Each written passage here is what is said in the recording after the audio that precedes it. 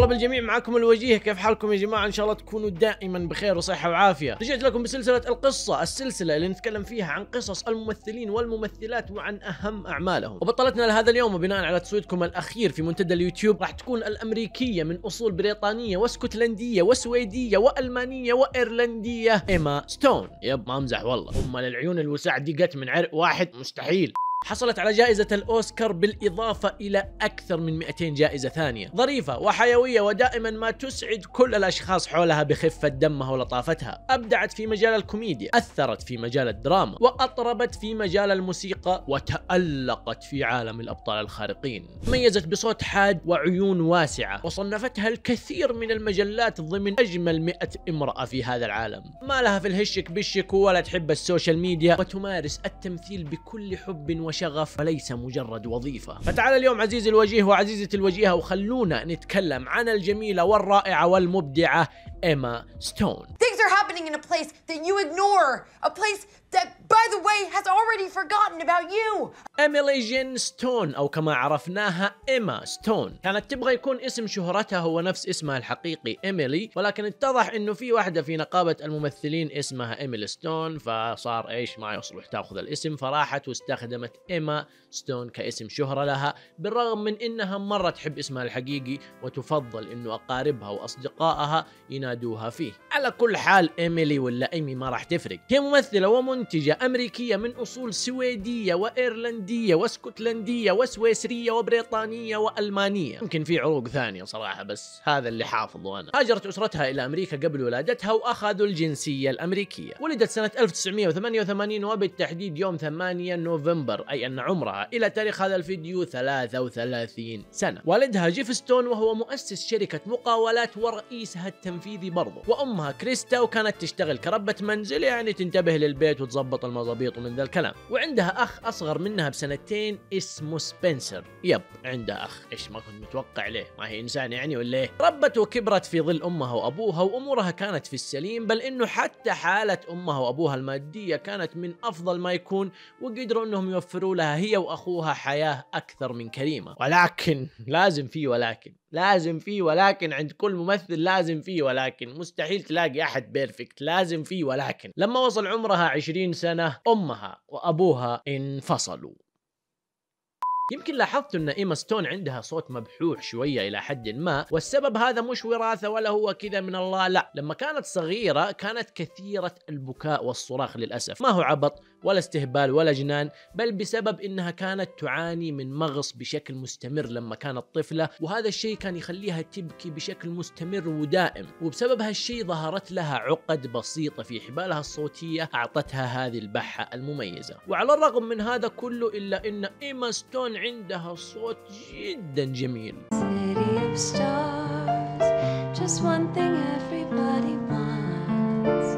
إيما ستون يا جماعة كانت تعاني من حالات هلع واضطراب بشكل مستمر لما كانت صغيرة. مرة كانت جالسة في بيت صديقتها وهي طفلة. أه، تقول جالسين مستانسين ناكل ونشرب ونلعب. فجأة البنت قالت أحا البيت قاعد ينحرق. صديقتها قالت لها يا إيما البيت مش قاعد ينحرق ما في شيء. قالت لا البيت قاعد ينحرق.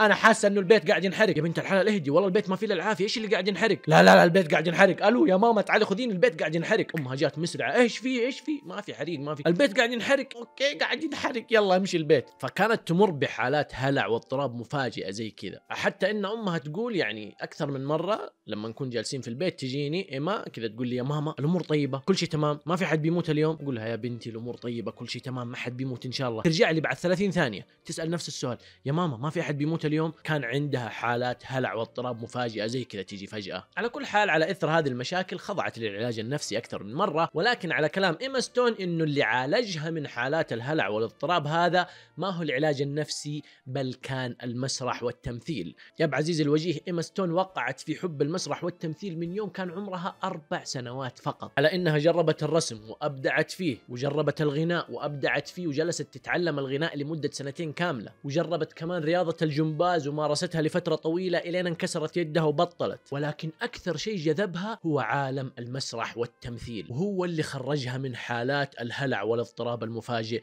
اللي كانت تعاني منها. وبالفعل من يوم صار عمرها تقريبا 11 سنة وإلى عمر 15 سنة شاركت في مسرحيات كثيرة ومثلت في أكثر من مسرحية. لما صار عمرها 15 سنة قالت يا ماما يا بابا cut.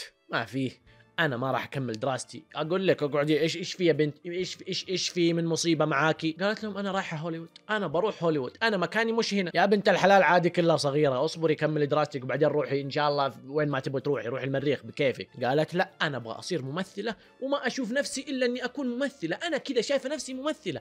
أنا راح أصير ممثلة. كل المقومات عندي. غناء واعرف أغني. تمثيل واعرف أمثل. وجه واسم الله علي أجنن ما فيني إلا العافية. ثقة مليون. هي أقنعتهم بس ما أقنعتهم. عارفين كان يحتاج لهم شوية إقناع زيادة ويقولوا لها okay روحي هوليوود. فراحت إيش سوت إيما ستون؟ راحت وسوت عرض تقديمي presentation بال PowerPoint حرفيا بال PowerPoint سوت عرض تقديمي وسمت عنوان العرض هذاك مشروع هوليوود أو Hollywood Project وحطت في هذا العرض التقديمي نقاط ليش لازم إيما ستون تروح هوليوود. الحلو في الموضوع إن شغلت لهم ال presentation هذا على التلفزيون وقدمته لهم واقتنعوا ووافقوا. أمها وأبوها اتفقوا قالوا لا خلاص راح نرسلك هوليوود. بس مش لحالها طبعا. مين بيرسل بنت عمرها 15 سنة لحالها إلى هوليوود؟ أنت صاحي طيب راحت معاها أمها إلى هوليوود. عاشت معاها وساعدتها في البحث عن تجارب أداء وظبطتها وأسستها ووقفتها على رجولها في هوليوود. ظلت إيما ستون في البداية ثمانية شهور. ثمانية شهور في هوليوود. أول ما وصلت هي وأمها ساكنين في البيت وتدرس من البيت كمان وتشتغل برضو يعني علشان ما تنمي فيها البطالة أمها. سمحت لها إنها تشتغل في أكثر من وظيفة بل إنها اشتغلت في محل رعاية الكلاب وصاحب المحل يقول إنه البنت ذي كانت مرة سيئة مع الكلاب. الكلاب كانوا يخافوا منها. وظيفتها إنها ترعى الكلاب كانت تخوفهم.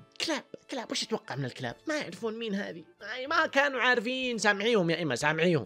المهم إنه بعد ثمانية شهور من وصولها إلى هوليوود وأخيرا قدرت إنها تحصل على أول دور لها، كان دور مسرحي وليس تلفزيوني ولا سينمائي ولا شيء، كان دور مسرحي، ومن هناك انطلقت وبدأت تصير معروفة في عالم المسرح وبدأت تكثر عليها الطلبات في مجال المسرح، وشاركت في حوالي 16 مسرحية من بعد هذيك المسرحية، وحبة حبة قدرت مع الوقت إنها تلقى لنفسها فرصة في عالم التلفزيون، شاركت في بعض الحلقات البسيطة من مسلسلات بسيطة، شاركت في بعض الأدوار البسيطة في أفلام تلفزيونيه ولما صار عمرها 18 سنة قدرت إنها تحصل على أول دور سينمائي لها. وكان في فيلم كوميديا المراهقين Superbad سنة 2007 الصدمة مش هنا. على إنه دورها كان بسيط في هذاك الفيلم وظهور جدا بسيط إلا إنه الكل صار مين هذه؟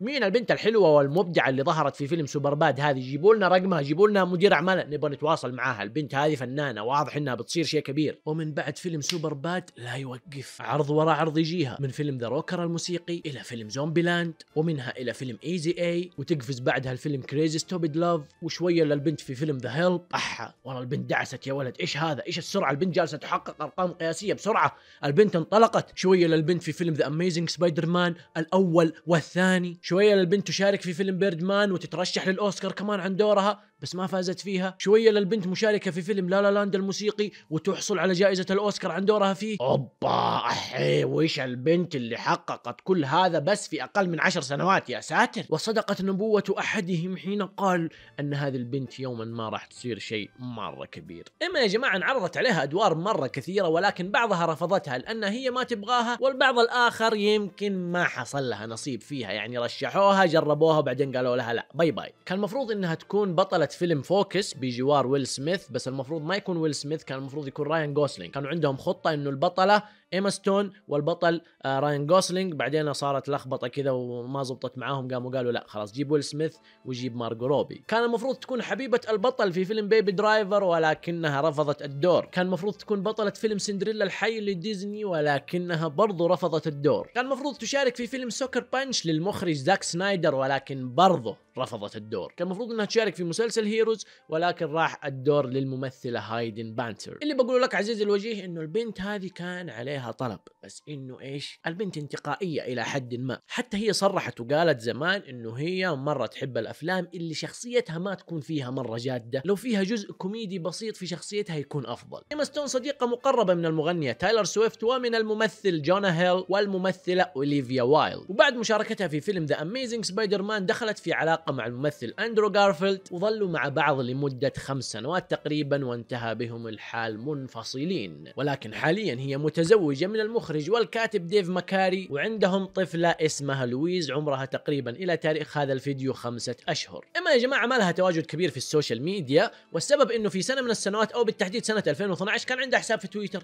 كانت تغرد ومبسوطة وتسولف وتضحك وترد على ذا وترتوت لذا وتضغط like لذا يوم من الأيام حسابها تهكر في تويتر. احي حاولت ترجع الحساب منا منا ولكن للأسف لم تزبط معها. وبرضه اللي عزز هذا الشيء إنه إيما أصلا ما تحب تشارك لحظاتها الخاصة ويومياتها مع الجمهور.